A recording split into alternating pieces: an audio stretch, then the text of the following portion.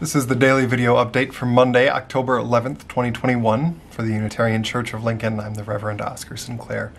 It's good to be back in the office. Um, I had a, a week um, of, of leave last week where I went up to uh, Michigan and, and went to the family cabin and, and looked at a lot of fish. I didn't actually catch any, um, but, uh, but I did have a salmon run into my leg uh, while I was trying to to catch other salmon in the river. And, and at some point, that will be a sermon illustration on the futility of human endeavors. But uh, it was a it was a futile human endeavor in a beautiful, beautiful place.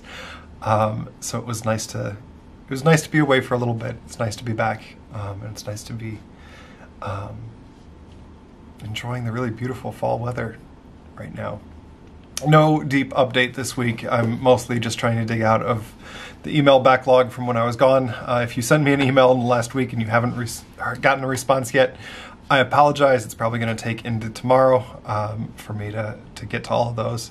Um, and, uh, and we'll pick up with more organized updates tomorrow. All right. Have a great night, everybody. It's good to be back, and I'll see you soon.